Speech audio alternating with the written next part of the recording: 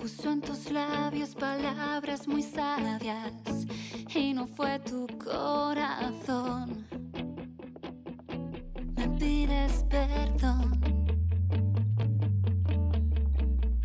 Alguien puso